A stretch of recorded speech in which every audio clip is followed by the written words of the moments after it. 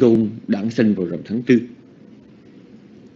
thành đạo vào rằm tháng chạp và viên tịch niết bàn rằm tháng 2 thì cả hai truyền thống đều có chung một cái mẫu số, đó là Đức Thế Tôn đản sinh vào ngày rằm tháng tư. Thưa quý vị ờ, ngày bê sắc còn có một ý nghĩa khác, chúng ta gọi là ngày của Đức Phật hay là ngày Phật bảo Buddha's Day bởi vì à, ngày này, đặc biệt chúng ta nói về sự ra đời của Đức Phật. Sự ra đời ở đây không đơn giản chỉ là ý nghĩa của sự đản sanh từ trong lòng mẹ, mà sự ra đời ở đây chỉ chung cho sự xuất hiện của Đức Phật, gồm cả nguyên cả quãng đời của Ngài, sự tuyên lưu giáo Pháp và thành lập giáo hội Tăng Già tất cả những điều này đều chung ở về nói về sự ra đời của Đức Phật. Cũng như câu nói rằng, vui thai chư Phật ra đời, vui thai giáo Pháp giảng lời xấu xa, vui thai hòa hợp tăng già lành thai tứ chúng thuận hòa đồng tu. Vui thai chư Phật ra đời không đơn giản chỉ là sự đản sanh của một vị hoàng tử sơ sinh ở trong vườn lâm thiền Lumbini mà sự ra đời của Đức Phật là sự ra đời của một bậc giác ngộ với toàn bộ giáo pháp.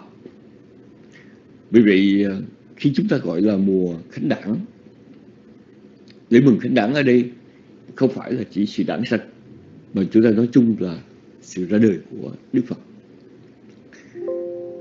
thưa quý vị à, năm nay thì Phật lịch 2564 người Thái Lan và người Trích Lan có một chút chênh lệch về điểm này.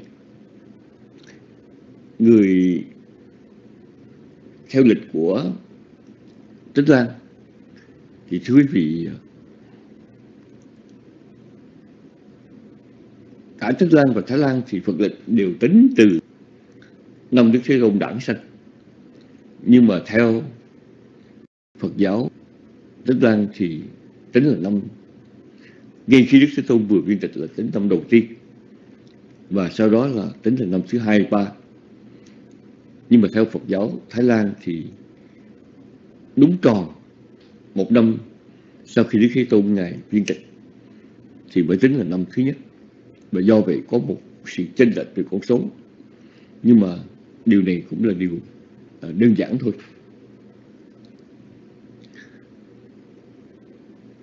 Đại lễ khánh đản là để đón mừng sự ra đời của Đức Phật Thích Ca Mâu Ni.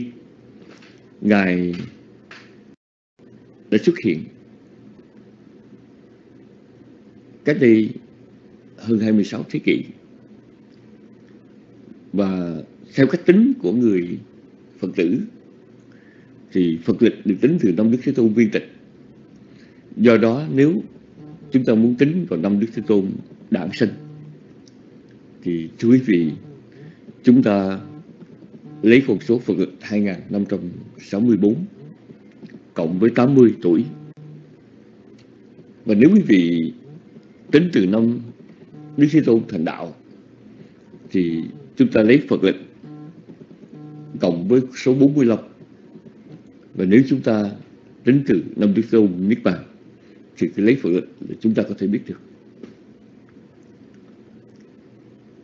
và Đức Phật Ngài xuất hiện ở trên thế gian này, ở trong một cái bối cảnh rất là đặc biệt của nền tư tưởng học thuật của Ấn Độ. Lúc bây giờ ngữ pháp của phản ngữ đã bước đến mức độ tinh vi. Và có thể nói rằng thời đó ở tại Ấn Độ, nó tương tự như thời Bách Gia Tranh Minh của Đông Châu Quốc, của Trung Hoa. Rất là nhiều những kỳ nhân dị sĩ xuất hiện với rất nhiều giáo thuyết khác nhau. Và Bà La Môn giáo đã in đậm vào trong xã hội Ấn Độ từ cái quan niệm về giai cấp cho đến sinh hoạt xã hội hàng ngày. Và dĩ nhiên là trên phương diện đạo giáo, thờ phượng phạm thiên những cái tập tục như là bái hỏa giáo, tức là thờ thượng lửa, hay là tẩy trần và tịnh thủy bằng cách tắm dưới sông Hằng, hay hoặc giả là những cái tế đàn để cúng để cầu phước, để cầu nguyện thì đã trở nên một cái nếp sinh hoạt rất là quen thuộc ở trong xã hội Ấn Độ thời đó. Chẳng những vậy, và khi chúng ta được nghe Đức Thế Tôn đề cập đến những học thuyết, những giáo thuyết qua các bài kinh như kinh Phạm Võng hay nhiều bài kinh khác, rải rác đó thì đặc biệt là ở trong trường bộ, thì chúng ta có thể nói rằng những quan niệm về duy vật, duy tâm, những quan niệm về thần ngã, những quan niệm về hiện sinh, tất cả đều đã góp mặt ở trong cái nền tư tưởng triết học, đạo học của người Ấn Độ thời bấy giờ. Đức Thế Tôn rời bỏ thành ca tỳ la vệ ở trong tư cách là một bậc quân vương.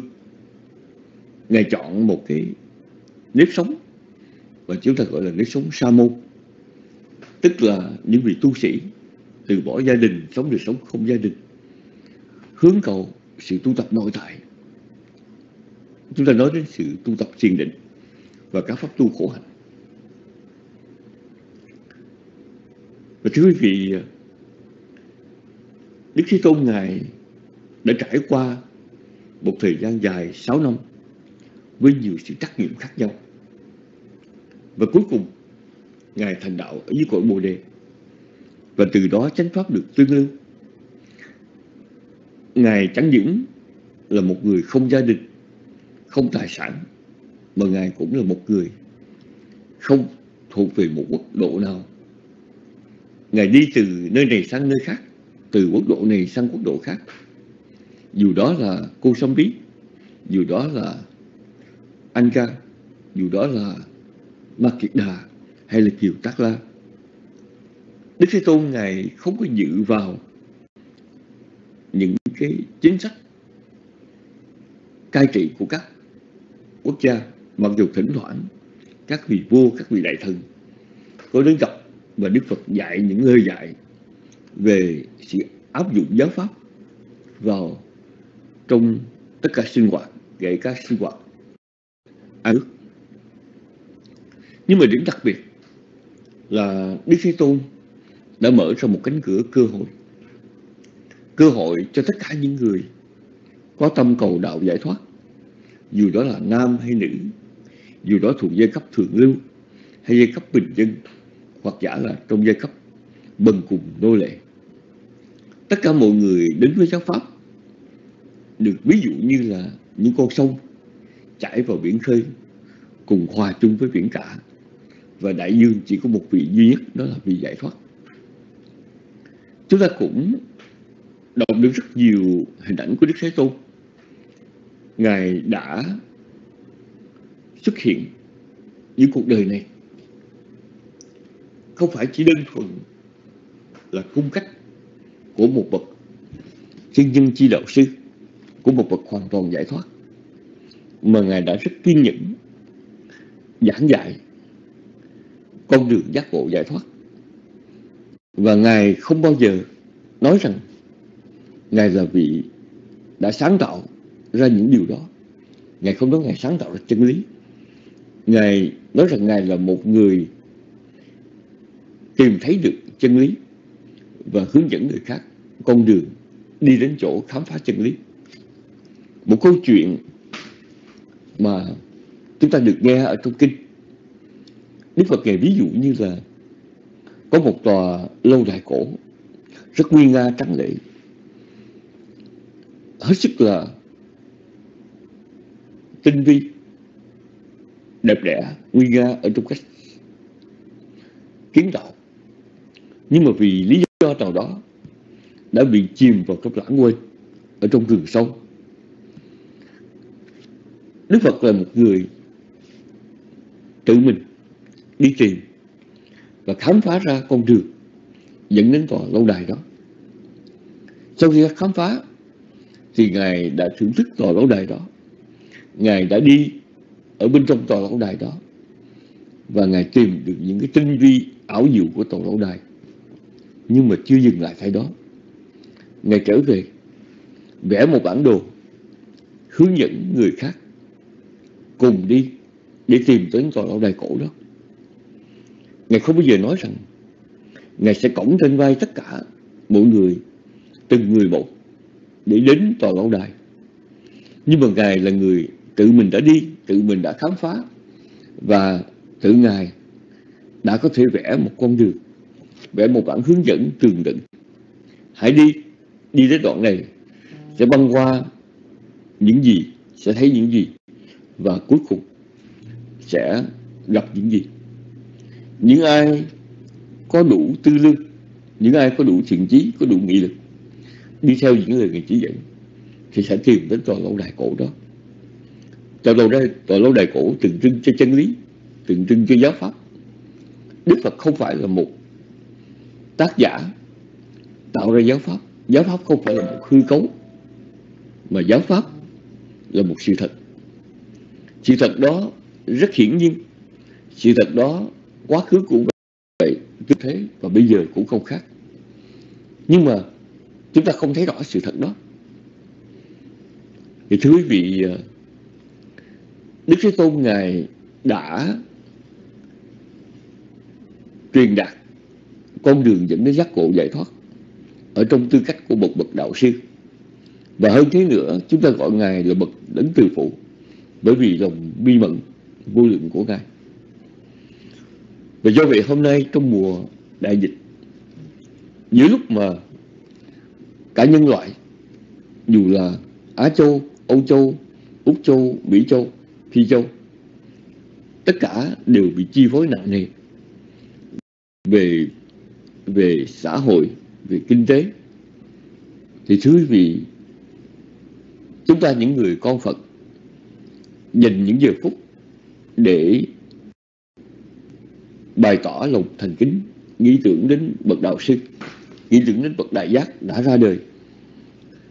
Và không đơn thuần là chúng ta chỉ đem lòng thành kính hay là tính tâm, mà chúng ta cố gắng hiểu Đức Phật. Nó sẽ là một điều rất là đáng buồn. Nếu chúng ta chỉ tin vào Đức Phật mà không chịu hiểu Đức Phật, nếu chúng ta chỉ tạo ra những nơi thờ phượng Đức Phật. Nhưng mà chúng ta lại không chịu khó học hiểu những lời dạy của Ngài. Ở trong một ý nghĩa chân thật nhất, ở trong một cái cung cách chân thực nhất. Thì thưa quý vị à, hôm nay sau pháp ngữ của lễ khánh đản, chúng ta sẽ dành những giây phút rất là trang nghiêm để cùng với chư tăng. Tụng khóa lễ, cúng dường khánh đản bên được ghi thức khánh đản và khóa lễ này sẽ được đại đức pháp tính và chư tăng chùa Bửu Đức thực hiện. Sau đó, thưa quý vị, chúng ta sẽ cùng nhau chiêm nghiệm năm câu chuyện về cuộc đời của Đức Phật. Cuộc đời của Đức Thế Tôn thì được ghi trong một kho tàng kinh điển rộng lớn và hôm nay chúng ta chỉ đề cập đến năm câu chuyện và năm câu chuyện có tính cách là được đặc trưng là một cái ví dụ để chúng ta có thể chiêm nghiệm thêm một chút về cuộc đời của Ngài. Và sau đó thì thời chúc nguyện khánh đảng. Ở trong lời chúc nguyện khánh đảng, chúng ta sẽ tự hỏi rằng kỷ niệm sự ra đời của Đức Phật. Chúng ta sẽ chúc nhau những gì? Và đặc biệt ở trong mùa đại dịch này. Và sau cùng là hồi hướng công đức. Thì buổi pháp ngữ vừa rồi, xin được mở đầu cho chương trình đại lễ tam hợp hay là đại lễ khánh đản Phật lịch 2564 bây giờ thì xin kính cung thỉnh đại đức pháp tính và chi tăng, chùa Bửu Đức Ờ, bắt đầu cho nghi thức khánh đản để chúng ta dâng lên Đức Thế Tôn. Lòng thành kính và niềm tin tính nhưng kỷ niệm sự ra đời, sự đản sinh của Đức Thế Tôn, sự thành đạo và sự hoàn tất ngôi nhà giáo pháp để rồi ngày phiên tịch biết bàn. Xin kính cung thịnh chư tăng.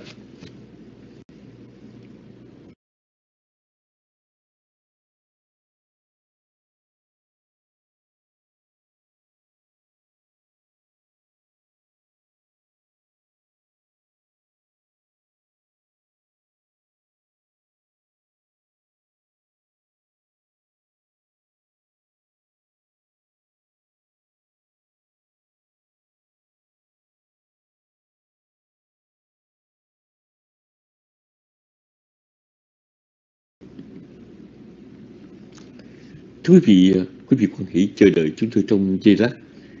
Nãy giờ chúng tôi không biết là Đại Đức Pháp Tính và Chư Tăng đã có mặt ở trước máy và sẵn sàng chưa.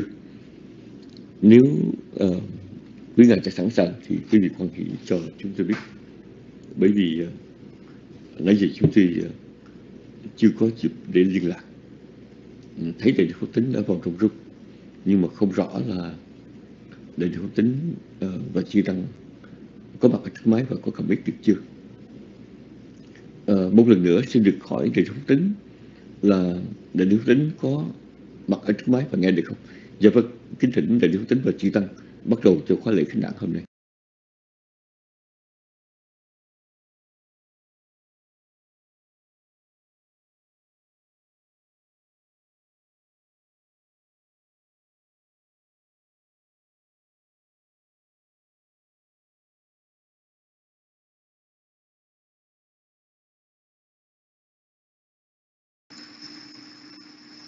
Nam mô bút Thầy Giá, con xin thành kính đảnh lễ đến thượng tọa nhất đẳng, thượng tọa minh hành cùng chư tôn đức tăng. À, kính chào quý cô tu nữ cùng các vị những nam tín nữ. À, giờ đây thì chúng con xin được mở khóa kinh à, tụng kinh trong ngày thánh đản. Nam mô thập phương thế Phật bảo Nam mô thập phương tam thế pháp bảo Nam mô thập phương tam thế tăng bảo Pháp vi diệu nghìn thân an ngộ phước nhân thiên muôn thở có cầu ngày tàn tháng lùng qua đâm sai trần cảnh vùi đầu tử sinh. À, đây là giờ chuyển kinh vô thượng. À, đây là giờ đọc cùng pháp âm. Mà lời vàng lý nghĩa cao thâm. Xin chư hiền giả lắng tâm thọ trì. Nam mô Tassa Bhagavato Arahato Samma Sambuddhassa Nam mô Tassa Bhagavato Arahato Samma Sambuddhassa Nam mô Tassa Bhagavato Arahato Samma Buddhassa cúi đầu đảnh lễ đấng tự tôn bậc chân viên kỳ đắc cung dường à, con nguyện thân tâm thường thanh tịnh à, làm như lời quần sanh. Vua thăng saranang gacchami mang saranang gacchami sanghang saranang gacchami dutiyam bi buddhang gacchami dutiyam bi dhammang gacchami dutiyam bi sanghang gacchami tatiyam bi buddhang gacchami tatiyam bi dhammang gacchami tatiyam bi gacchami saranang mi đệ tử quy y Phật đấng thiên nhân điều ngự bi trí vẹn toàn đệ tử quy y pháp đạo chuyển mê khai ngộ ly khổ đăng lạc đệ tử quy y tăng bậc hoàng trì chánh pháp vô thường phước điền lần thứ hai đệ tử quy y phật pháp tăng tam bảo lần thứ ba đệ tử quy y phật pháp tăng tam bảo như tâm đảnh lễ đức như lai bần ưng cung tranh kỳ minh, hành tung thiền thể thế gian, giải vô thường điều ngự thiên nhân, tư phần đà thế tôn. Nhân tâm đảnh lễ chân pháp, do phần thiện thiên thiết thường hiện, tiền vượt ngoài thời gian nên để chứng nghiệm hiệu năng hương thường chi giả thân chân nhưng tâm đảnh lễ chư tăng thanh đề tử thế tôn phần thiện hành trực hạnh như hạnh chánh hạnh gồm bốn đôi tam vị các ngài xứng đáng tôn trọng cung nghinh cung dường chấm tay kính lễ là phước điều thường trong đời nay Đại Lễ Tháng Tư Tam Hợp ngày Đảng sanh thành đạo Niết Bàn, Nhớ ơn sâu thiền thề cha lành Noi gương sang thực hành bi tri Lại phần tổ toàn tri diệu giam Lại pháp màu chân thật quang minh Lại tăng già vô lượng hồng ân an phúc lạc cam lộ tịnh thủy chúng con vốn nhiên lành chưa đủ sanh sao thờ phật. Thế gian nhưng còn đây anh đào huy hoàng theo pháp phần vượt qua bể khổ nhớ quyền xưa quyền thành độ đâu xưng đà Giác trần gian à, ca tỳ la nhạc đối cung vàng à, Trung ân đồ mây ngờ năm sân à, Vì chúng sanh lương tâm, gia vật bở dày bồ tát giang sanh à, đứng ma gia ứng kiều mong lành voi bao chân sao ngà khôi vĩ à, rằng nuôi ngọc xanh màu diễm lệ à, tỏ thiên hương ngào ngạt tận không phiên kim cương bao phủ mây hồng à, các tường mong các tường phúc mệnh. À, lùm bi ni tinh ba hiện hiện ba mươi hai biểu tương trường phu à, cùng tám mươi quy canh đặng thù hòa bãi bước đi mang lời khai thị à, ôi, hàng hữu đó qua vàng kỹ à, đủ dung nghi cốt canh thủy phàm, mà trải bao đời quyết cu trận gian. Bằng đại giác từ ân xuất hiện à, thương chúng sinh mê tình hụp lặng mãi tôi ai đời khổ cầu? à, mãi nên trầm hương. Hãy bể dâu à, biên đầu thật biên đầu nguyện mộng à, thăm chín tuổi đời đầy qua mộng à, bỏ ngay hoàng đế nghiệp thế nhi à, sao năm tu khổ hành nan nghì à, rừng thanh văn chọn tay điện ngọc rồi chung đạo dốc lòng tân lực coi bồ đề viên bất tam minh hàng phục ma đoàn tận xứ tinh nhân tiên biên thành đại nguyện rừng lộc giả pháp luân vận chuyển đồ năm thầy thích tử đầu tiên bốn năm năm hoàng quá cấp huyền cổ ức triều hữu tình thoát khổ đào vô biên từ nay rạng tỏ tuổi tám mươi mãn thọ trọn viên rừng xa la thì tịch niết bàn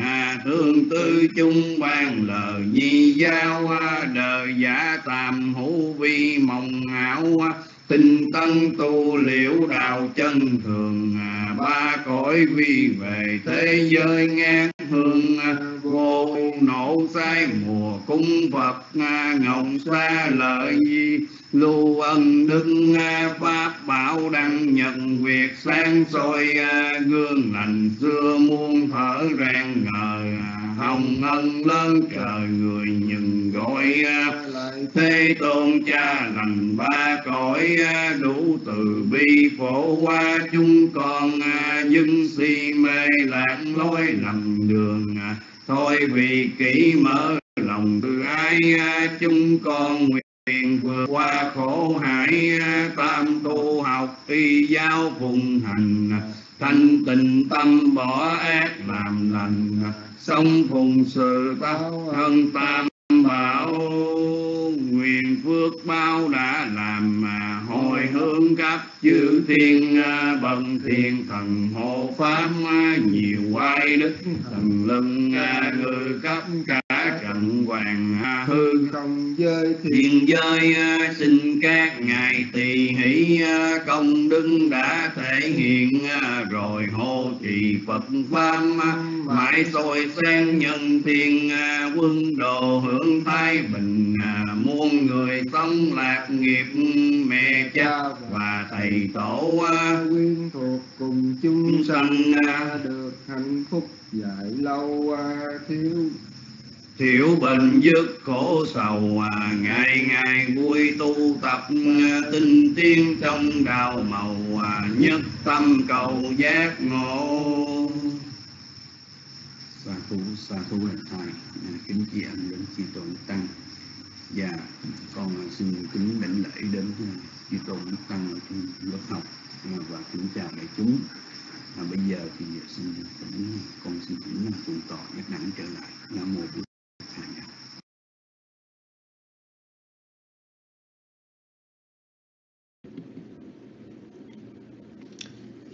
Sa thú kính rừng đại đức pháp tính và chư tăng chùa với khóa lễ vừa rồi à, tức và thưa quý phật tử sau ờ, phần nghi thức khánh đản xin được tiếp theo để chia sẻ một vài giai thoại về cuộc đời của Đức Phật.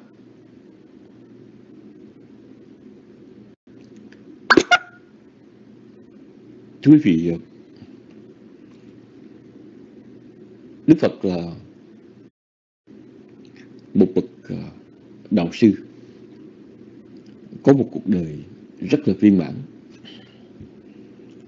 Ngài à, sinh ra đời ở trong một hoàn cảnh rất là văn minh, thịnh vượng của một trong những chiếc nôi lớn của nền văn minh nhân loại ngài có cuộc sống rất là đẹp từ ban đầu từ lúc sơ sinh là một vị hoàng tử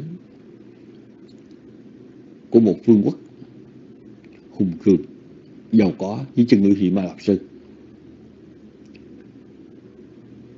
Thời niên thiếu của Ngài có tất cả những phồn vinh mà một con người thậm chí cho đến ngày hôm nay cũng muốn mơ ước. Một cuộc sống được che phủ bởi nhung lụa, có đầy đủ những tiện nghi, có thể nói là bậc nhất thời bấy giờ.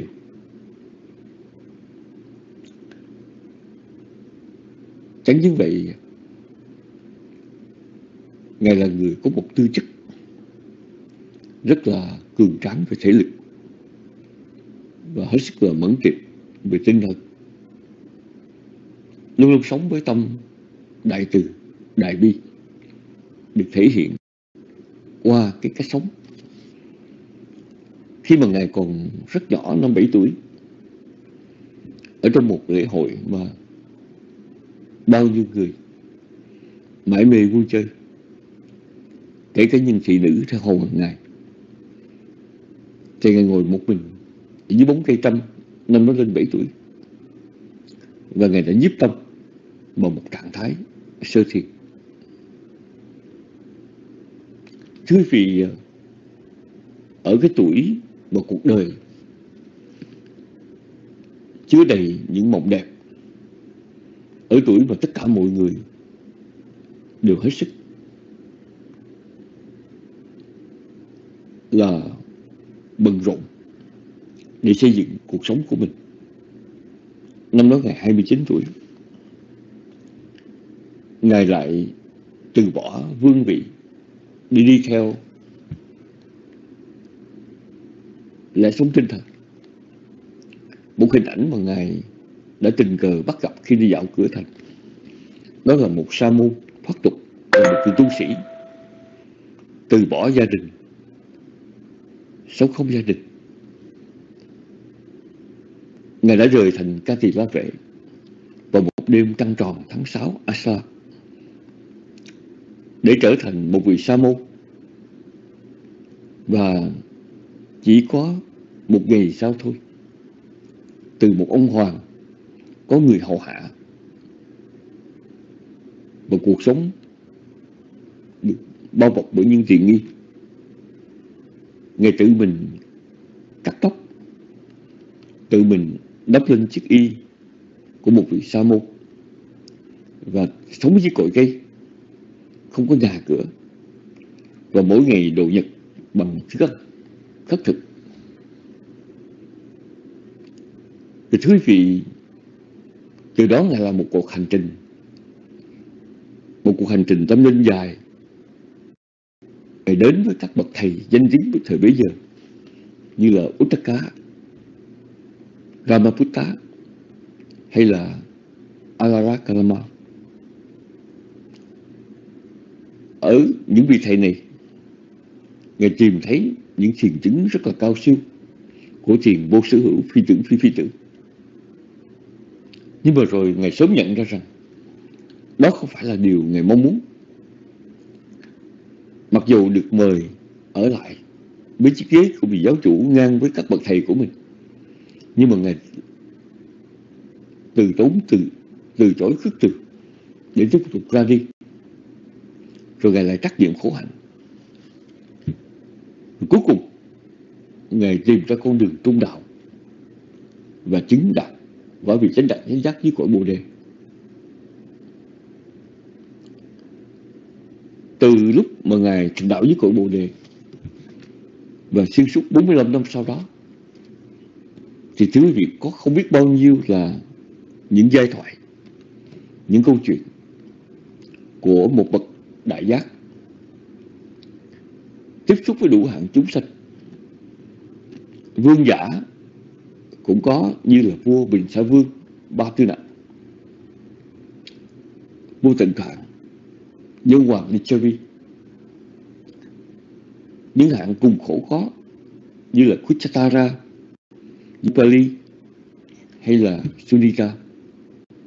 những người rất là trí thức như là Mahakassapa, Sariputta, Mokkallana và thậm chí những người rất là can ngại như là Chana, Sadak, người tính bậc của Ngài dù đó là nam hay nữ, già hay trẻ thường lưu hay bình dân, hay thậm chí nô lệ, hoặc là những người sống trong cuộc sống cực kỳ cao sang, hay là những người bần cùng khốn khổ. Đức Thế Tôn Ngài có một thông điệp giống nhau. Thông điệp đó là nó một sự thật đằng sau tất cả những gì mình thấy. Ngài gọi đó là sự thật vi diệu về đau khổ. Người nghèo khổ đã đành mà người giàu cũng khóc. Người nữ khổ đã đành, người nam cũng có nỗi khổ. Già cũng khổ, trẻ cũng khổ. Tất cả mọi người đều có cái khổ. Có ai mà không có những nỗi khổ của sanh già đau chết, thương phải xa ghét phải gần, muốn không được? Chấp thủ trong vững sầu bi khổ ưu đạo Ngài có một thông điệp rất lạ là Ngài không có hứa hẹn một thiên đàng nếu một người thực hành theo chánh pháp và đơn giản Ngài dạy rằng nếu chúng ta chịu đối diện với cuộc sống, thấy được nỗi khổ trầm kha của cuộc sống và thắp sáng tuệ giác từ đó, thì qua cái cánh cửa của đau khổ, chúng ta sẽ tìm thấy hạnh phúc thật sự. Và cái cơ hội vượt thoát là một cơ hội chung cho tất cả. Điều đó là tướng quân si hoa dù đó là vua bình sa vương, hoặc giả là Uruvela Kassapa hoặc giả là Angulimala, hay là kỹ nữ Ampapali. Đức Thế Tôn Ngài đã đi từ quốc độ này sang quốc độ khác, từ thành phố này sang làng mặt khác. Và đối với Đức Phật, chỉ có một sự việc đơn giản nhất, đáng làm nhất là mang lại hạnh phúc, lợi lạc cho muôn loài. Và hạnh phúc, lợi lạc đó là một cái nhìn vượt qua những cái giá trị định đặt bởi xã hội, bởi thường thức. Dù đó là quan niệm về giai cấp, quan niệm về sự giàu nghèo, quan niệm về phước báo, mà ngài nói duy nhất một điều là những ai liễu ngộ được sự thật, thấy biết được sự thật, thì tự mình chặt đứt những gì kiết sử cột trói chính mình. Dây cột trói đó nó vô hình. Dây cột trói đó nó rất là khó để thuyết phục. Giống như thưa quý vị, ở trong thời gian gần đây, có những bà mẹ, con muốn đi ra ngoài chơi muốn đến một cái công viên để đáp banh muốn ra bãi biển. Bà mẹ nói rằng, ở ngoài còn có bệnh lây lan của coronavirus. Đứa con 7-8 tuổi, nó không đủ khả năng để hiểu coronavirus là gì. Tại sao mà chúng ta phải sợ một kẻ thù vô hình, gần như không thể biết được. Thưa quý vị khi mà Đức Phật Ngài đem cái thông điệp về sự thật về khổ, sự thật về nhân sanh khổ, sự thật về diệt khổ, sự thật về con đường dẫn đến diệt khổ. Nó không đơn thuần. Và rồi từ đó không phải chỉ thông điệp về giáo pháp mà cuộc sống của Đức Thế Tôn cái cách mà Ngài hoàn pháp và đặc biệt là cái cách của Ngài viên trạch để lại cho chúng ta rất nhiều hình ảnh. Mà ngay cả một người có trình độ học thức, ngay cả một điều người chịu khó suy tư, cũng phải nghiền ngẫm, cũng phải suy niệm. Nên chi trong mùa khánh đảng, nếu chúng ta nghĩ rằng đây là một ngày mà tất cả chúng ta nên lắng tâm để tưởng nhớ Đức Phật. Thì có lẽ là một điều tốt nhất để chúng ta thể hiện lòng thành kính của chúng ta là tìm cách để ôn rẫm để suy niệm về lời dạy của Đức Phật.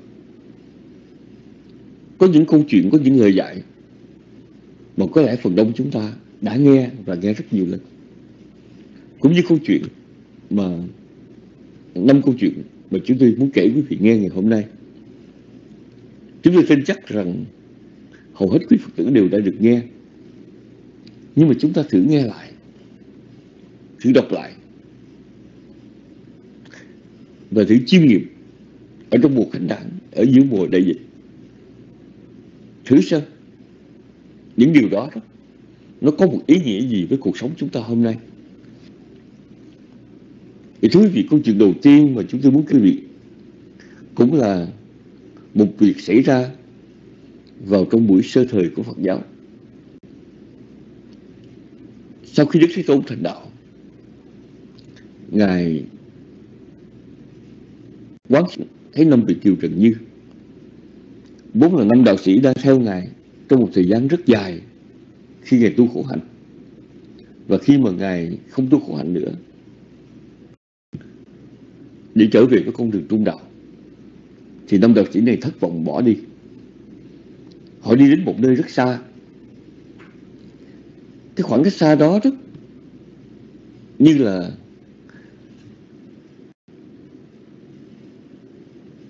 cái khoảng cách mà chúng ta có thể hình dung được ngày hôm nay từ bồ đệu đạo tràng về Varanasi đi bằng xa lộ hiện nay mất 6 giờ đồng hồ có khi 8 giờ đồng hồ.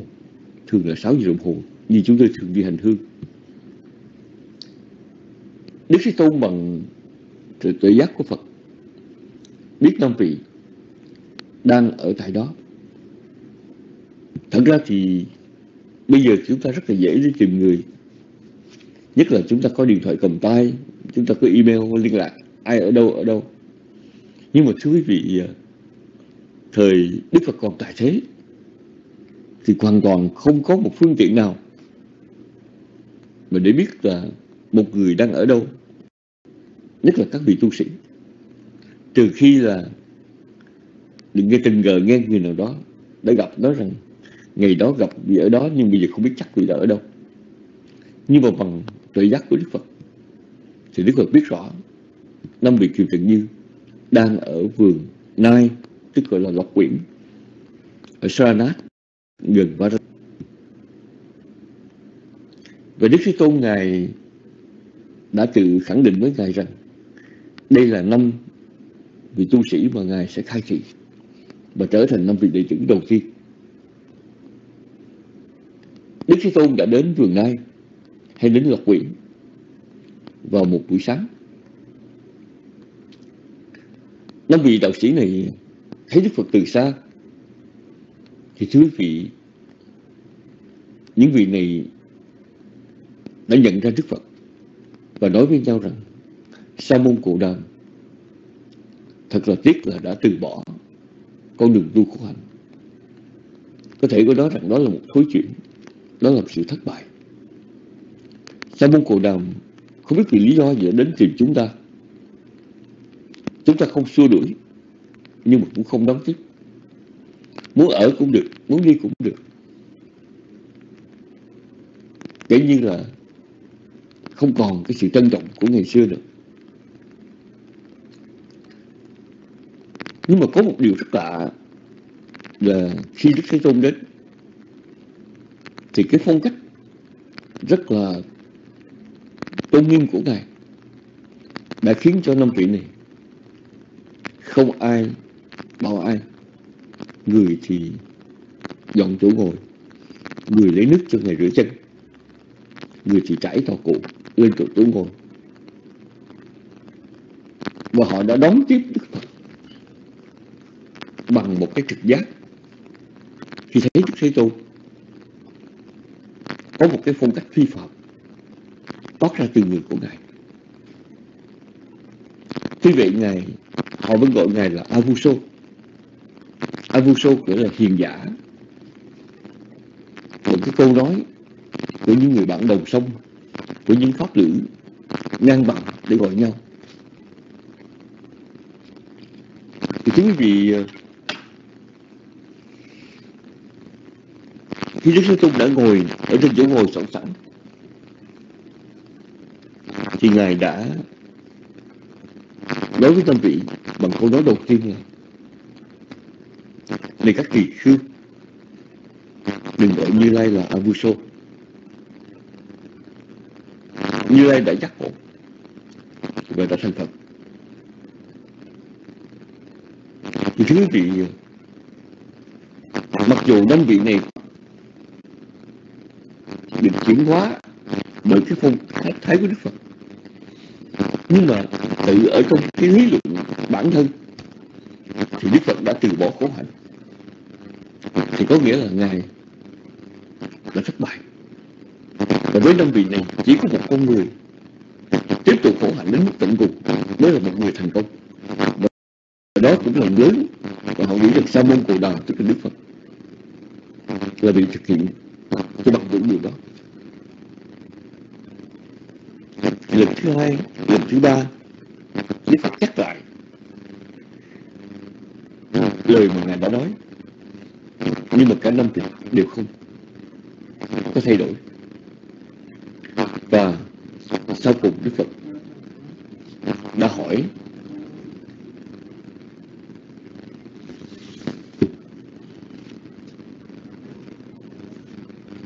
hello Steve.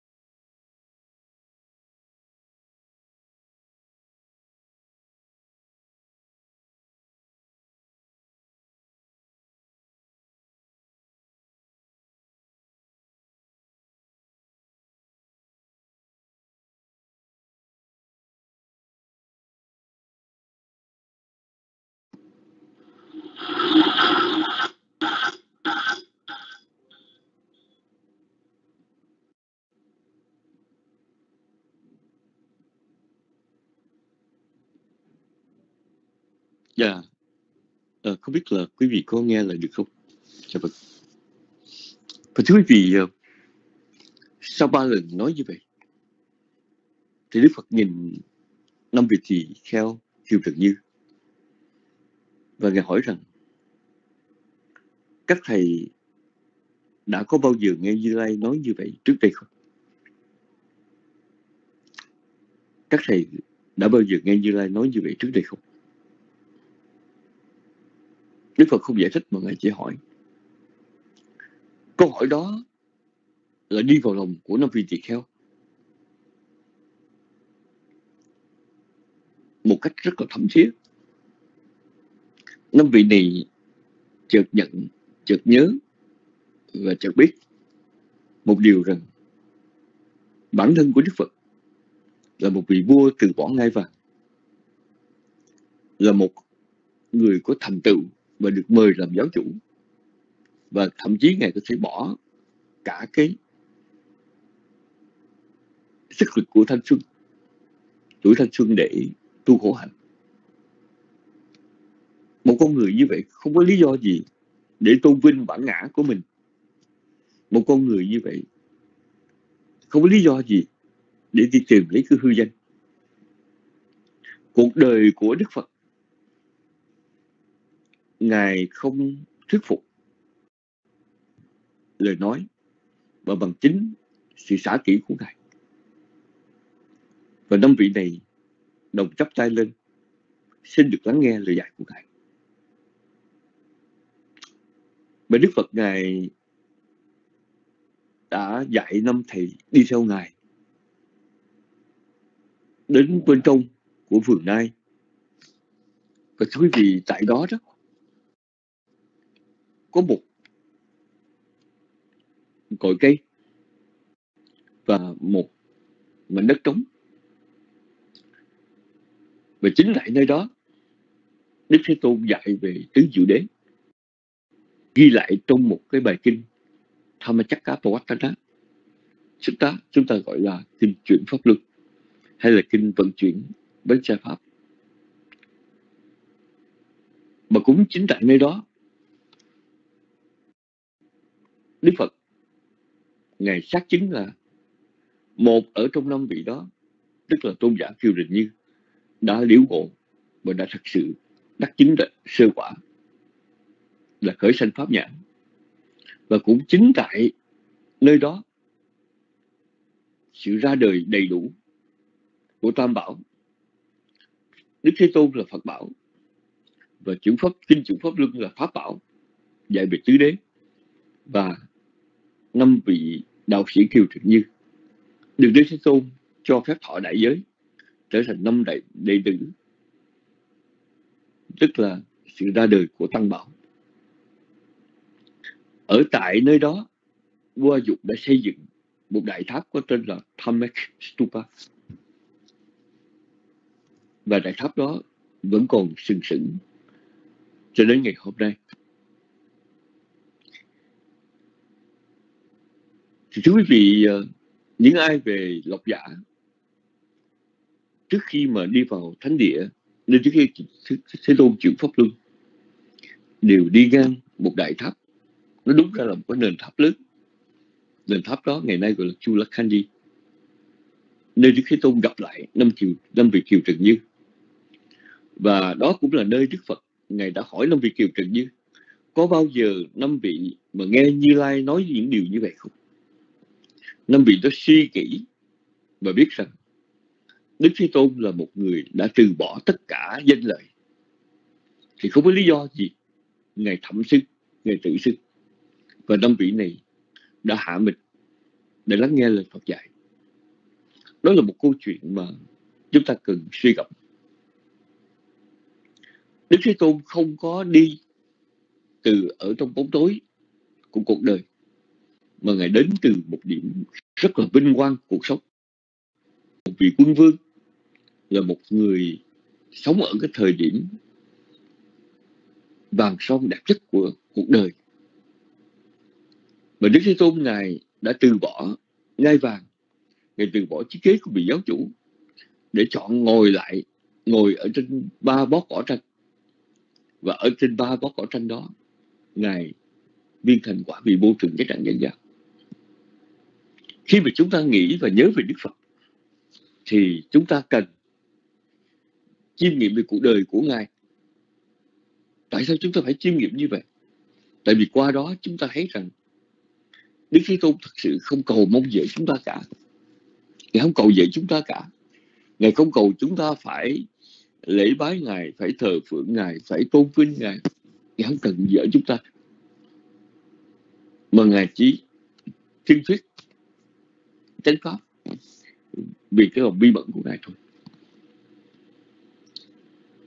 Thưa quý vị ờ, cũng ngày hôm nay chúng tôi cũng muốn nhắc lại một câu chuyện rất quen thuộc mà nhiều vị đã từng nghe. Đó là sau khi đức thế tôn chuyển pháp luân, và sau khi mà ngài vào thành vương xá, nhận ngôi chùa đầu tiên phật giáo là ngôi chùa trúc lâm và lúc bây giờ, vị vua của xứ Ma Kiệt Đà là vua Bình Sa Vương trở thành một vị thánh đệ tử chính quả chính quả tu đà quần và ở trong số đệ tử cũng đã có những bậc ưu tú lỗi lạc là vì vị thượng thủ sinh văn, ngày sáng lại phất ngày một kiệt đi. Và với một hội chúng thì kheo, toàn là những bậc ưu tú. Thì thưa quý vị Đức Thế Tôn đã nhận lời của một vị tỳ kheo rất trẻ, mới tu, có tên là Kaludayi. Vị này là một người bạn rất thân của Đức Phật lúc thiếu thời. Có thể nói là bạn đồng sống. Và vị này đến từ Ca Tỳ La Vệ, mang theo cái lời quỷ thác của vua Tịnh Phạn, là cung thỉnh Đức Phật về cố hương. Nhưng mà vị này ra đi với một cái lời cầu khẩn và được nhà vua chuẩn y. Đó là nếu gặp Phật và phát tâm để trở thành một vị xuất gia để tử Phật thì xin nhà vua cho phép. Bởi vì nếu một vị sứ thần ra đi không được lệnh nhà vua mà xuất gia đó, thì là làm trái lực và làm trách định thì làm sao có thể chu toàn bổn phận của mình? Nhiều vị đại thần đã đi và tất cả đều được xuất gia.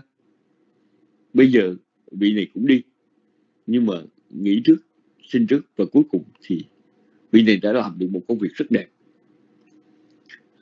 Là đó là vào một mùa khô. Mùa khô của Ấn Độ được tính là từ tháng 10 dương lịch đến tháng 3 thời tiết rất là mát mẻ nếu chúng ta đến Ấn Độ hành hương mà không phải trong mùa bệnh dịch, bởi vì đến từ tháng 9 cho đến tháng 3 đó, thì chúng ta cảm nhận được là hương đồng cỏ nội. Những con đê sáo nếu mình ở miền quê mình rất là thích thú, tại vì thời tiết mát mẻ. Và trong một xã hội nông nghiệp như vậy, thì thưa quý vị, đi đâu chúng ta cũng thấy những cánh đồng lúa vàng có khi là chưa gặt có khi chỉ còn ở gốc rạ và người ta cảm thấy sung sướng khi mà thu hoạch quê lợi mùa màng.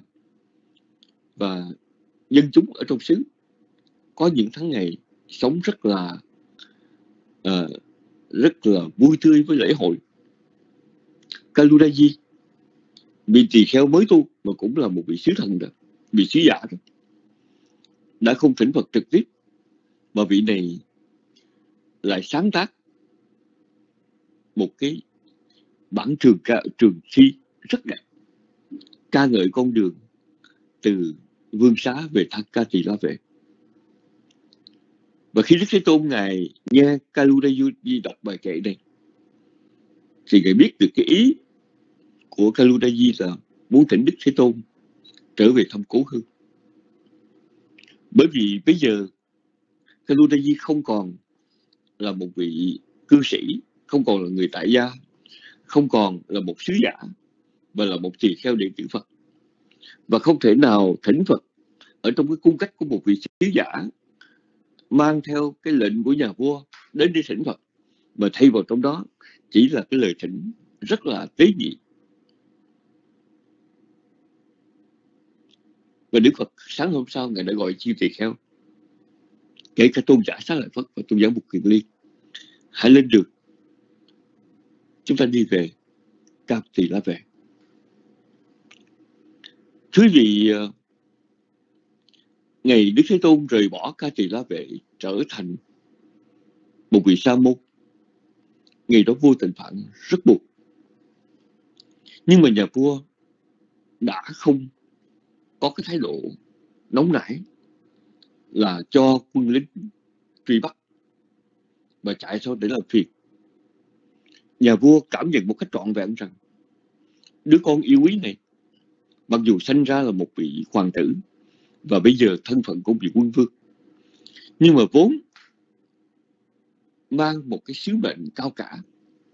Mà ngay từ lúc sinh ra đời, các bà ở môn tiên tri rằng, có hai con đường hoặc là trở thành một đại đế hoặc trở thành một bậc đạo sư vĩ đại.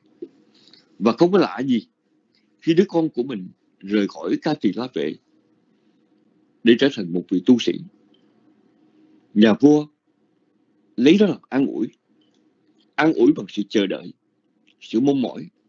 Một ngày gặp lại đứa con thân yêu của mình, và đứa con đó sẽ mang về một sự nghiệp tinh thần vĩ đại như là lời tiên tri ngày trước đã có những lần nhà vua hỏi thăm những người đi về từ xứ, xứ Ba Kiệt Đà về Sa môn Gotama và một người trong số đó đã nói rằng Sa môn Gotama đã chết rồi vì tu khổ hạnh. Tu, tu khổ hạnh ở mức độ cao siêu nhất. Và cuối cùng thì đã không giữ nổi mạng sống của mình. Nhà vua nghe vậy cảm ơn mà không tin con của mình chưa có thành tựu được. Sự nghiệp tinh thần vĩ đại thì không thể nào chết được. Đó là cái niềm tin mạnh mẽ mạnh mẽ của vua. Thịnh phạn và khi mà một vị tỳ kheo được đức phật gửi đi đi trước, báo cho nhà vua hay là đức phật và chư tăng, sắp tới ca tỳ la vệ, thì không có niềm vui nào mà lớn hơn ở trong cuộc đời là được gặp lại đứa con thân yêu của mình. Và bây giờ được nghe rằng đứa con thân yêu đó đã trở thành một bậc đạo sư mà được cả sứ mạc kiệt đà kính ngưỡng. Vua sứ mạc kiệt đà là là vua bình sa vương đã quy ngưỡng trở thành đệ tử. Và một ngôi chùa đầu tiên là chùa trúc Viên đã được hình thành. Thì thưa quý vị à, ờ, vua tình phạn khi biết được Thế Tôn trở thành thành Cá thì La Vệ, thì có lẽ một điều duy nhất mà nhà vua cảm thấy tràn ngập cả tâm hồn, đó là niềm vui gặp đứa con mình nhưng mà rồi, với bao nhiêu sự việc xảy ra, hoàng thân quốc thích kể cả vua tịnh phạn gặp lại đức thế tôn, vui mừng khôn xiết được nghe đức thế tôn thuyết pháp rồi tất cả mọi người, thậm chí đảnh lễ thế tôn vua tịnh phạn đã có những lần ở trong quá khứ chắp tay đảnh lễ đứa con của mình, kể cả khi vua cùng với đạo sĩ Asita và của tướng Đức Thế Tôn. Đức Phật lúc còn là một sư hài nhi sơ sinh. Thì đạo sĩ Asita đã chấp tay lên đảnh lễ hoàng tử sơ sinh. Thì vua tịnh phạn cũng làm như vậy. Và năm Đức Thế Tôn lên 7 tuổi, ngồi dưới bốn cây trong. Ngài nhập vào trạng thái sơ thiệt. Thì một lần nữa nhà vua đã chấp tay lên đã lễ đứa con của mình. Và lần thứ ba, khi Đức Thế Tôn về thành Cá Trì La Vệ, Ngài hiển hóa thần thông, độ dòng thích ca, thì vua Tịnh Phạn lên một lần nữa, thể hiện cái lòng kính quý đối với đứa con ruột của mình. Nhưng cũng như tất cả mọi người khác, đều có một cái cảm nghĩ gần giống nhau. Đức Thế Tôn vốn là một bậc quân vương của thành ca Trì La Vệ này. Hôm nay Ngài trở về nơi chốn của Ngài thì Ngài sẽ có những bữa ăn thịnh soạn nhất của Hoàng Triều. Ngài sẽ được uh, sắp xếp ở trong tiện nghi tốt nhất, xứng đáng với cái sự thương yêu và kính trọng của vua cha. Không có một ai về kể cả vua Trịnh Phạn tự đặt câu hỏi rằng, ngày mai này, Đức Thế Tôn sẽ ăn như thế nào, ở như thế nào ở thì có đi đô Thá Ra Má là một công viên đi câu đạp nhưng mà thực phẩm thì mãi đặt ra vấn đề. Thì thưa quý vị Đức Phật và Chư Tăng, giống như mỗi ngày, nếu có người mời tỉnh đến nhà để thọ trai, thì Đức Phật và Chư Tăng nếu nhận lời, thì sáng hôm sau sẽ đến thọ trai. Và trong trường hợp không có lời mời tỉnh, thì ngài sẽ cùng với chư tăng chia nhau đi khất thực. Và sáng hôm sau, ở trong thành cá trì la vệ người ta đã nhìn thấy một cảnh tượng. Một cảnh tượng mà không ai có thể nghĩ ra được. Đó là vị quân vương của thành cá trì la vệ thổi nào. Bây giờ là một vị sa môn đang bưng bình bát đi khất thực ở trong thành. Cùng với đại chúng tỳ kheo đi phía sau một cách lặng lẽ, từng bước một. Và ngài mở bình bát ra. Khi mà có những người muốn cúng dường, đặt vào trong bình bát những thức ăn mà họ có thể cúng dường được. Một số người chạy theo vì thấy rất lạ. Lạ không phải là bởi vì lần đầu họ thấy những vị sa môn đi khất thực, mà lạ là bởi vì vì đó chính là vị quân vương, là vị được xem như làm chủ cả kinh đô này, cả vương quốc này. Mà không ai nghĩ rằng một vị vua mà đi ăn xin như vậy, đi cất thực như vậy. Và thứ gì à, một người, hai người, rồi mười người, một trăm người, họ kéo theo đức phật và chư tăng rất đông.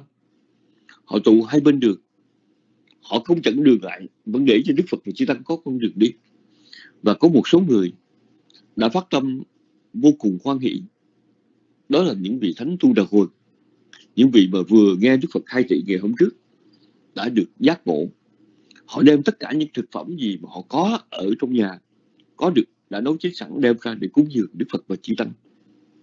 Và những ai quỳ xin trước Đức Phật và Chi Tăng thì các ngài mở nắp bình bát ra nhận thực phẩm đó. Và thứ gì có lẽ rất ít khi mà Đức Thế Tôn đi khất thực cùng với Chư Tăng mà tạo ra một cảnh tượng quy tụ đông người như vậy. Và dĩ nhiên, điều này nhanh chóng đến tay của vua Tịnh Phạn. Nhà vua ở trong hoàng cung mà nghĩ rằng sáng hôm nay có một chút chuẩn bị rồi sẽ đến gặp Đức Phật. Và hôm nay sẽ tự tay để chuẩn bị thực phẩm cho Đức Phật và chư Tăng thọ trai. Nhưng mà nhà vua quên bẵng đi rằng đã không có lời thỉnh cầu ngày hôm trước.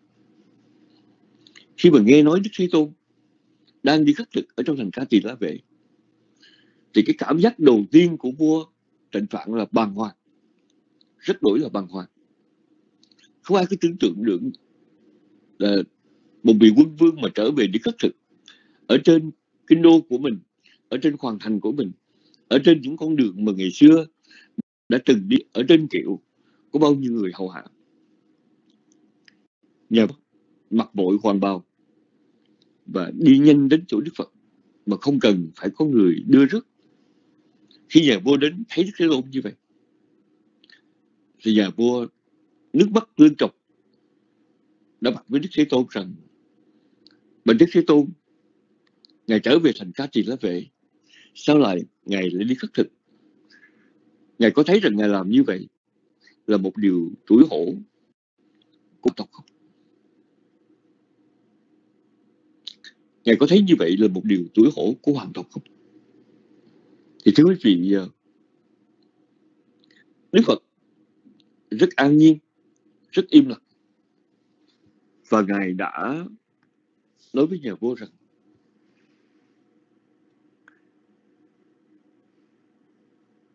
Đại vương, là dòng dõi vua chúa. Như Lai, là dòng dõi của chư Phật. Chư Phật sống bằng hành nguyện khất thực. Hành nguyện khất thực là chánh mạng của chư Phật. Một bài kệ rất đẹp. Nhưng mà cái đẹp nhất của bài kệ này là thưa quý vị, vua tình phận đã nghe và hiểu ngay. Và trong cái hiểu đó, nhà vua đã chứng được sơ quả tu đạo Phật. Rất là khó để chúng ta diễn tả nhà vua đã hiểu như thế nào.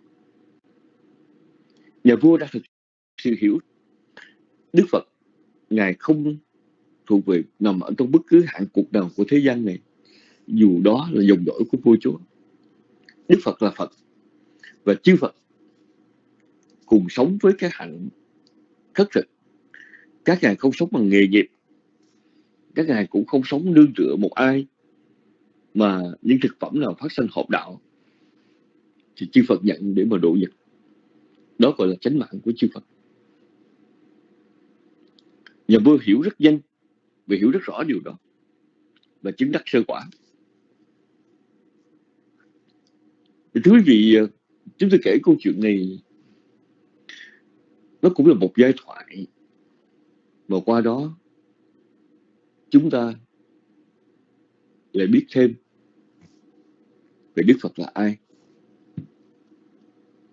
Ngay cả khi Đức Phật nhà ở vương xá hay ở xá vệ,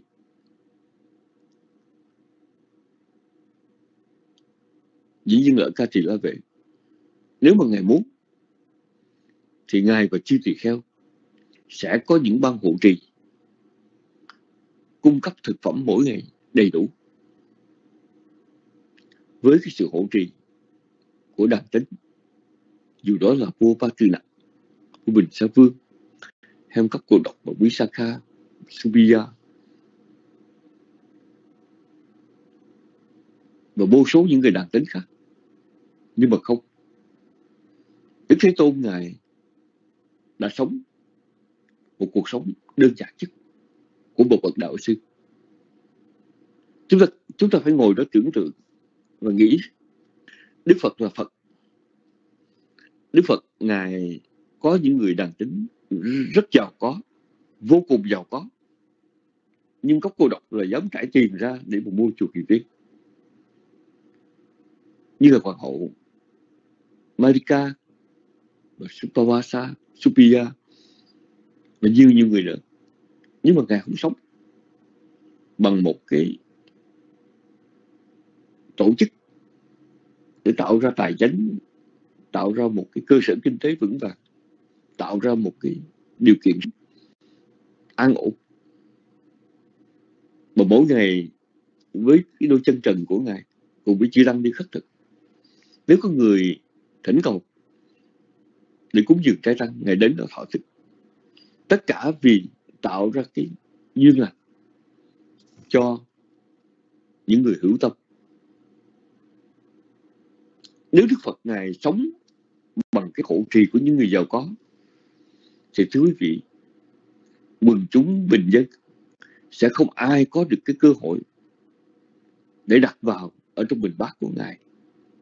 Những thực phẩm rất là đơn giản. Đó là một cái bánh chapati của những người lam lũ nghèo khổ. Đó là một chút thực phẩm của một người nông dân mà mang thức ăn để đồ nhật khi ra đồng.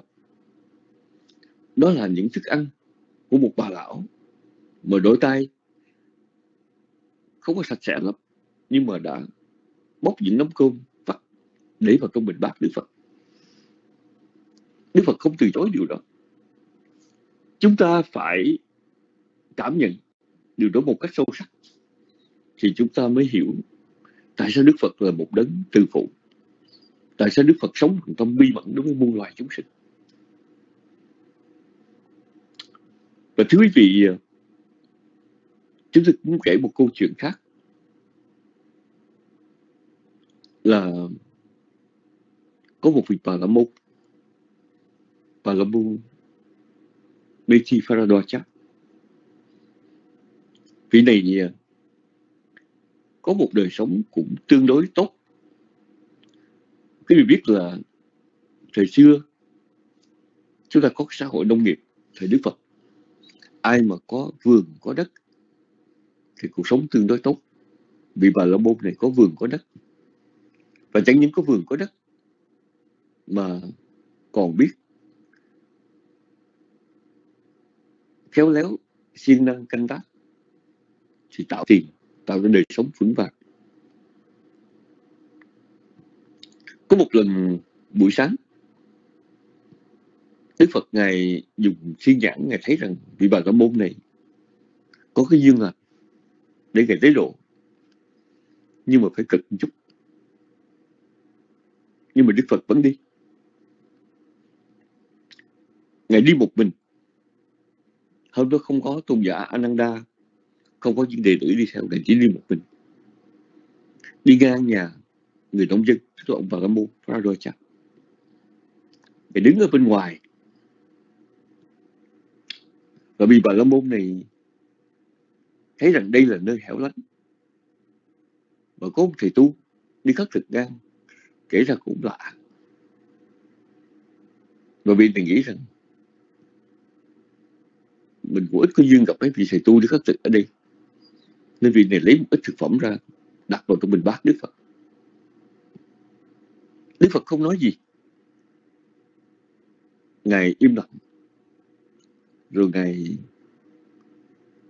trở về, tìm một cội cây để thọ thực. Xong rồi Ngài trở lại chu kỳ viên. Và thưa quý vị ờ, cũng căn nhà đó cũng miếng đất đó và cũng là môn đó. Buổi sáng hôm sau, thì Đức Phật Ngài lại đi khất thực. Thì lần này, ông là môn và là môn nghĩ trong lòng. Chắc tại hôm qua thầy tu đến đây mình cho đồ ăn cũng ngon. Nên chi, hôm nay ông trở lại. Bởi vì bà la môn tuy rằng không có cũng kính trọng lắm với đức phật. Nhưng mà cũng cũng mang thức ăn ra đặt vào trong bình bát. Vì ngày hôm sau nữa, khi mà buổi sáng tinh sương, mặt trời mọc lên, ông bà là muốn bước ra sân thì là thấy đức phật đứng cất trực ở trước sân của mình.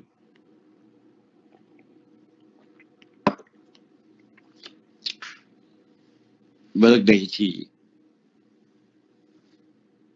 ông không nhìn nổi được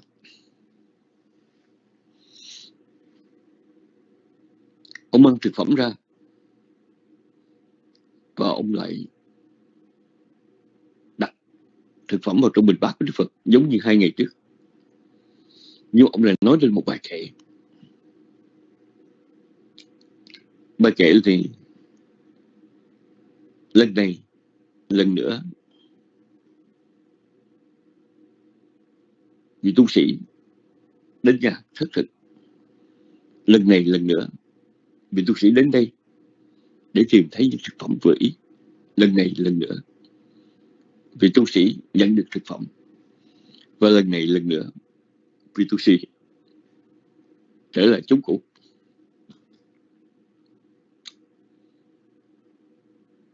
Về kể đó thì ít nhất là, là chế nhạo.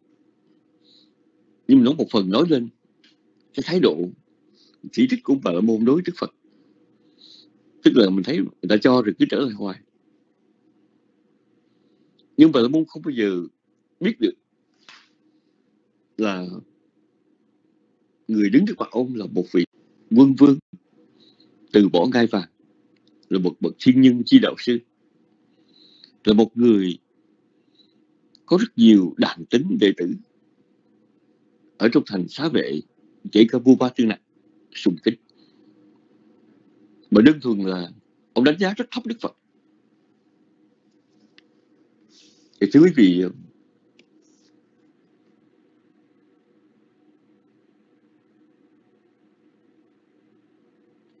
nhưng mà câu nói của ông cũng chính là một cái câu mở. Và Đức Phật ngài dùng cái câu mở đó để ngài bắt đầu khai thị cho ông nếu ông nói, ông dùng chữ Punapnam là lần này lần nữa, thì Đức Phật ngài cũng dùng cái chữ lần này lần nữa để ngài nói về sự luân hồi. Ngài đọc lên chính câu kệ ở trong đó, tất cả đều bắt đầu từ câu lần này lần nữa. Lần này lần nữa, một người sanh ra đời, rồi từ sanh dẫn đến già, đến bệnh, đến chết.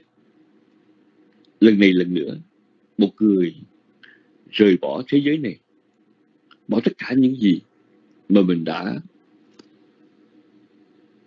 chăm chút, tạo ra cả đời để đi theo nghiệp riêng của mình lần này lần nữa, người tái sanh vào thai bào. Mà không biết ở đó là một vòng luân chuyển mới của sự đau khổ. Lần này lần nữa, con người bị cột trói vào các sanh hữu của mình. Và cũng như vậy, Đức Phật Ngài dùng cái câu lần này lần nữa tạo thành một pháp thoại. Một pháp thoại mà thưa quý vị cũng rất là may mắn trong Bà La Môn. Ông là một người có tệ căn ông nói cái câu lần này lần nữa là ông chỉ muốn chế nhạo Đức Phật, là Đức Phật thấy rằng người ta cúng dường trở đi trở lại. Nhưng mà rồi Đức Phật dùng câu đó để mở đầu cho một loạt các bài kệ để nói về cái ý nghĩa của sự luân hồi, của cái vòng lẫn quẩn của một người sống mà không lối thoát. Thì thưa quý vị, ông giác ngộ chúng ta đọc câu chuyện này đó, thì chúng ta sẽ thấy rằng Đức Phật, Ngài rất cực. Ngài rất cực chứ quý vị. Để độ chúng sanh chứ không có đơn giản đâu. Có khi cực lắm kìa. Có khi Ngài độ một người mà người đó muốn giết Ngài. Có khi Ngài độ một người mà người đó muốn sỉ nhục Ngài. Có khi Ngài độ một người Có người biếm nhẹ Ngài. Nhiều trường hợp lắm, chứ không ít. Đức Phật rất cực với chúng sanh. Nếu chúng ta không đọc kỹ, nếu chúng ta không có chịu lắng nghe, thì thưa quý vị, đôi khi chúng ta không hiểu hết. Là con người khó để độ như thế nào? Khó lắm, rất là khó vị nào mà có con cái trong nhà, đừng nói chi, dạy cho nó hiểu chánh pháp. Chỉ đơn giản dạy cho nó làm người thôi. Còn chịu khó học, chịu khó.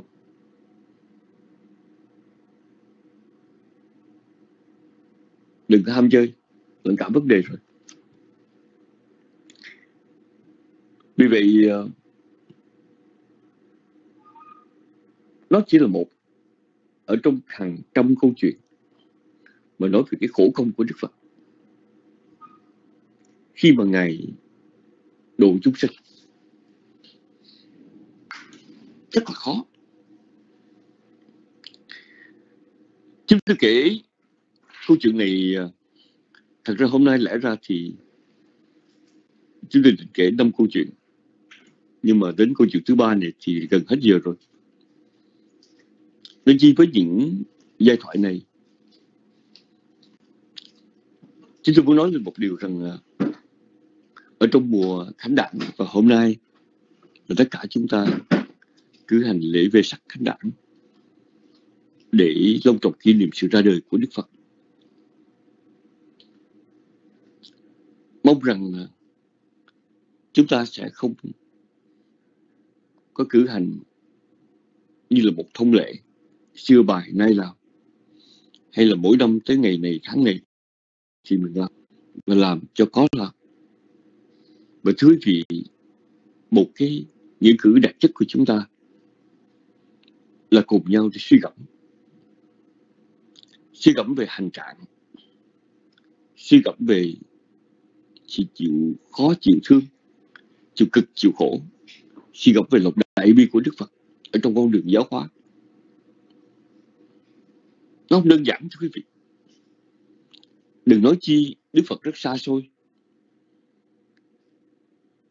Ngay cả ông cha bà mẹ ở nhà rất là vĩ đại với chúng ta. Nhưng mà chưa chắc là ở cái tuổi nào đó mình hiểu hết đâu. Cha mẹ mất rồi, phải nhiều năm tháng mình nhìn lại. Mình mới thấy được lúc đó là sự vĩ đại. Tấm lòng thật là bao la. Nhưng mà thường những lúc muộn rồi. Thì thưa quý vị ờ, còn vài phút còn lại thì chúng tôi xin được gửi đến tất cả quý Phật tử lời chúc nguyện của mùa lễ về sắc đánh dấu sự ra đời của Đức Phật. Kính chức mong rằng ờ, tất cả chúng ta sẽ có đầy đủ phước duyên để có được cái điều kiện giữ cái thân làm người đủ khỏe mạnh để có thể tu, có thể học, có thể phục vụ. Và mong rằng tất cả chúng ta sẽ là một cái nguồn sống mà cho những người xung quanh mình vượt qua cái khổ nạn hiện nay của cả nhân loại. Trong những tháng ngày sắp tới đây, thật ra thì dù người ta nói thế nào đi nữa thì chắc chắn chúng ta sẽ phải đối diện với nhiều khó khăn tuần lễ này thưa quý vị gần 3 triệu tư người ở tại Hoa Kỳ xin thêm tiền thất nghiệp và chúng ta có thể nói rằng ở chỉ vỏn vẹn ở trong gần 2 tháng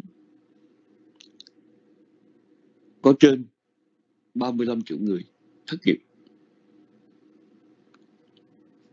Đó là một con số không nhỏ. Và chỉ riêng ở trong cái kỹ, cái kỹ nghệ mà làm thực phẩm đông lạnh, người ta ghi nhận trong thời gian qua hơn 10.000 người bị lây nhiễm COVID-19. Và thưa quý vị, ngày hôm nay thì cả thế giới vẫn chưa có được một cái thuốc chủng ngừa vẫn chưa có được một thuốc trị Covid-19 mặc dù hàng tỷ Mỹ Kim đã đổ ra cho bao nhiêu công ty dược phẩm mùa hè này sẽ đến với chúng ta giống như là nhiều mùa hè trước đây. Và cho đến giờ này, mặc dù người ta cố gắng để các hãng máy bay có thể chở hành khách trở lại bình thường, để những nhà hàng có thể mở cửa cho khách vào ăn uống, để cho các công sở có thể trở lại và làm việc. Nhưng mà hoàn toàn không có một ai biết được cái phương cách nào mà có thể trở lại một cách an toàn, một cách yên lòng thì chúng ta hãy cùng nhau cầu nguyện. Một lời chúc nguyện của mùa khánh đản là dù chúng ta có được an mạnh hay là lây nhiễm, dù chúng ta sống sót hay là chúng ta phải bỏ thân này, thì xin cho chúng ta có được những ý nghĩa cao đẹp nhất. Những ý nghĩa cao đẹp nhất của cuộc sống mà Đức Phật này đã truyền dạy. Dù là có bệnh dịch hay không có bệnh dịch dù là ở trong hoàn cảnh nào, thì chúng ta vẫn tìm thấy được những cái giá trị chân thực. Chúng tôi xin được cầu chúc chư liệt vị có một người mùa khánh đẳng, vô lực an lạc. Nam mô bích thai giác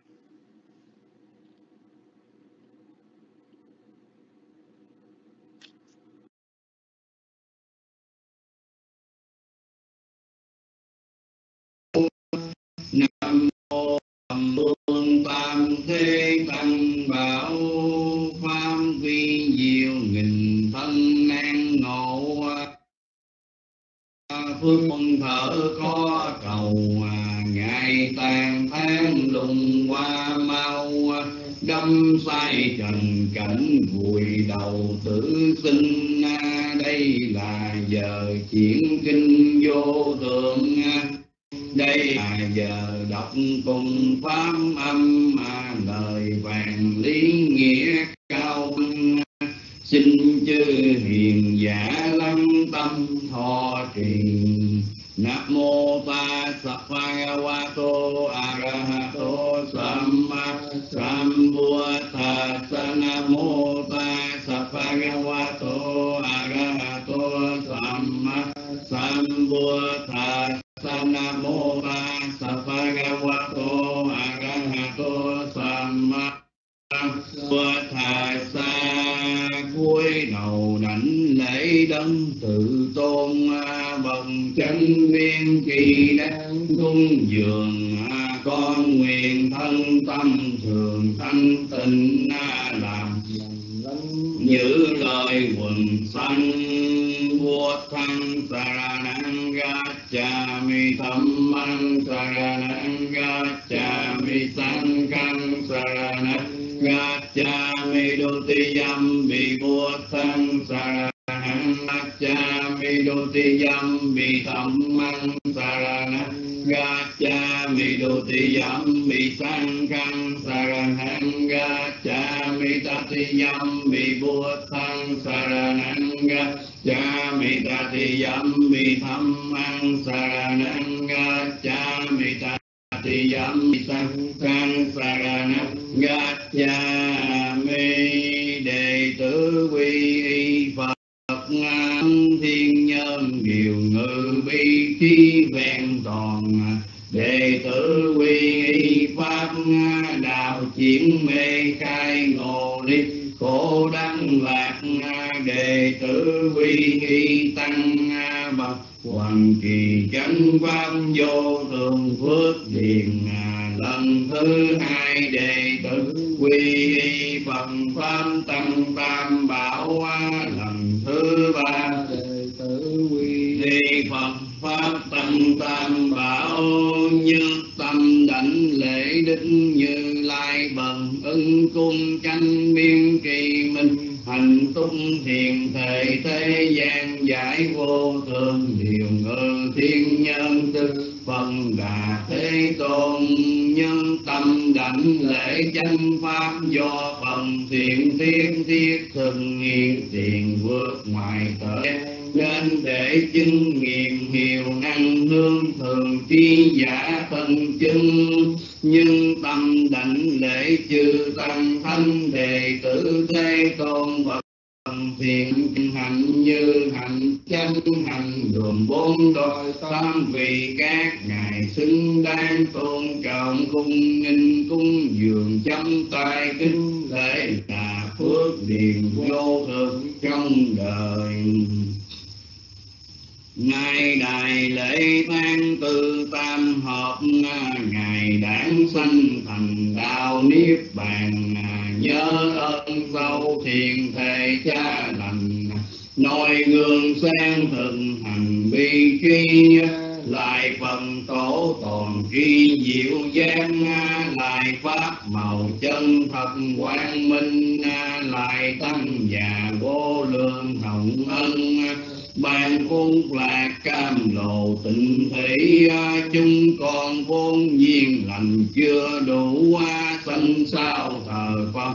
Dù thế gian à, nhưng còn đây anh đào huy hoàng theo pháp và vừa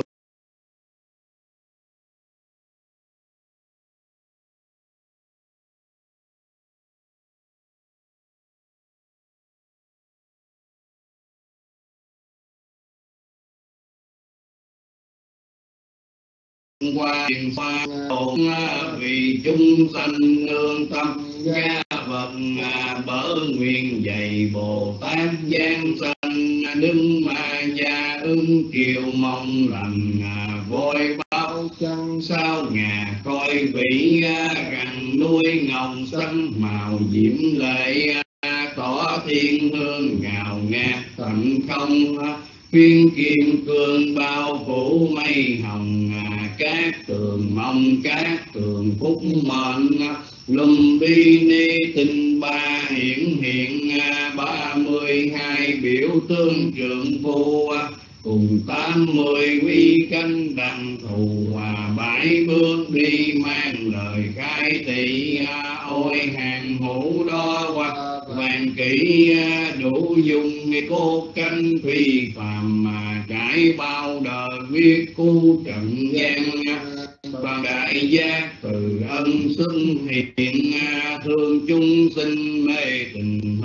lặng mãi ngược xuôi. Ai đừng khổ cầu mãi ninh trầm hương hãy bể dâu biết đâu thật biết đâu nguyện mộng thăm chín tuổi đời qua mộng bỏ ngay hoàng đế nghiệp thế nhi sao năm tu khổ hành nan nghì rừng thanh văn chọn tay điện ngọc rồi trung đạo dốc lòng tân lực coi bồ đề viên bất tam minh hàng phục ma đoàn tần thương tinh dân thi viên thành đại nguyện rừng lộc giả pháp luôn vận chuyển đồ năm thầy thích tử, đầu tiên bốn năm năm hoàng hóa cấp miền cổ ất triều hữu tình thoát cổ đạo vô vi từ rạng tỏ tuổi tam mươi mãn thọ trọn viên à, rừng xa lấp thì tịnh niết bàn à, hương chung ban đời di gia, đời giả tam hữu vi mộng ảo à, tinh tân tu liễu đạo chân thường ba cõi vi về thế giới nghe hương vô nội nổ xa mùa cung phật ngọc xa lợi lưu ân đức pháp bảo đăng nhận việc sáng soi à, gương lành xưa muôn thở rang ngờ hồng ân lớn người nhìn gọi à, thế tôn cha lành ba cõi à, đủ từ bi phổ qua chúng con dân si mê lạc lối lầm đường thôi vì kỹ mở lòng tự ái, chúng con nguyện vượt qua khổ hải, tam tu học y giáo phụng hành. Thanh tình tâm bỏ ác làm lành, sống cùng sự báo thân tam bảo, nguyện phước